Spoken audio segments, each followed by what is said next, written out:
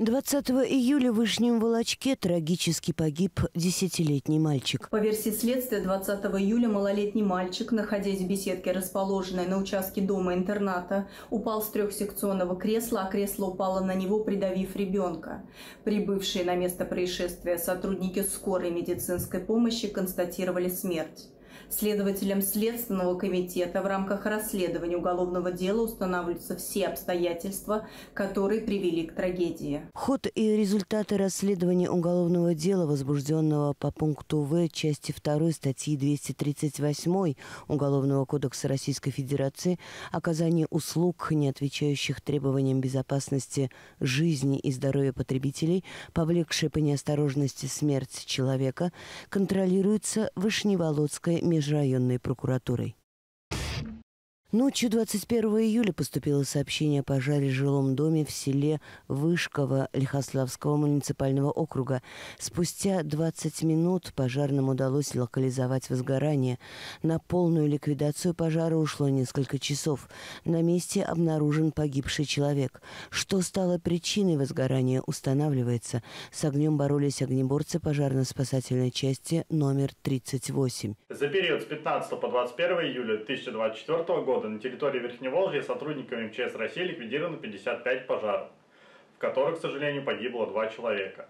Хотелось бы отметить возгорание лесной постилки в Вышневолодском городском округе, к ликвидации которого привлекалось 27 человек и 9 единиц техники, в том числе от МЧС России 10 человек и 3 единицы техники. Возгорание было оперативно ликвидировано, причина пожара устанавливается – Главное управление МЧС России по Тверской области напоминает, что на территории Верхневолжья действует особый противопожарный режим, который вводит запрет на разжигание костров в лесах.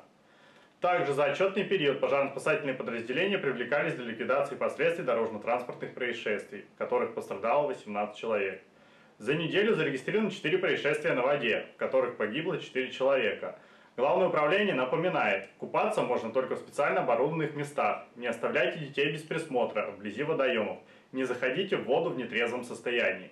В случае возникновения чрезвычайной ситуации звоните в единую службу спасения по телефону 01 сотовых 101 112. Телефон доверия Главного управления МЧС России по Тверской области 8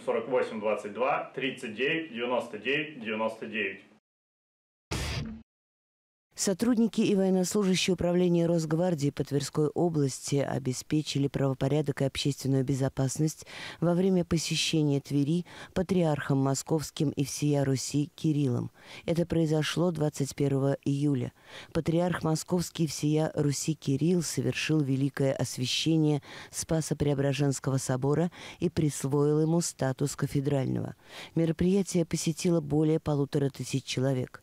Перед началом проведения мероприятий, помещения собора и прилегающих территорий обследованы и проверены инженерами досмотровой группы ОМОН «Барс».